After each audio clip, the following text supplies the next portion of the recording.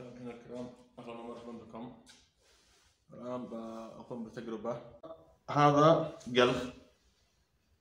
هذا قلخ. DC يعني AC يشتغل على تيار متردد. آه، القدرة 850 واط. 220 فولت. لكن أنا بشغله على بطارية.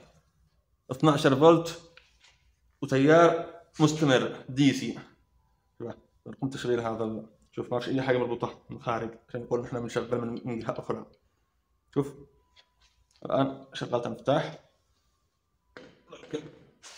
هذا الكبس على ما هو. نركب هنا القطب الموجب. وهذا القطب السالب فعل سلك توصل شوف.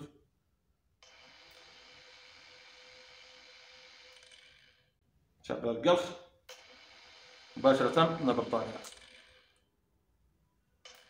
بدون أي شيء. هذه بطارية. ما فيها أي مصدر خارجي. ما في أي مصدر خارجي. تيار دي سي فقط ب 12 فولت. وأشغل القلخ بس عشان نتأكد هذا اللي يشكك بعمل الناس. وإنهم كذابين وإنك رابط مصدر من تحت مش عارف إيش. وهنا أيضا. تلاحظون الآن بقوم بتشغيل آه، الدريل. هذا الدريل.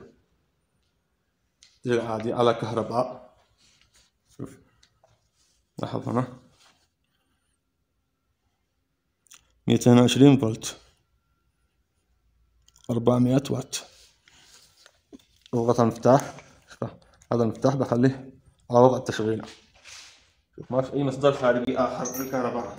وهذه البطارية ما في أي مصدر خارجي. ما في أي مصدر خارجي ضربنا البطارية ركسان شوف هذا خليه كذا عشان تشوف هنا شغال من البطارية رأسا 12 فولت. يعني في ناس يجيب فال تجارب.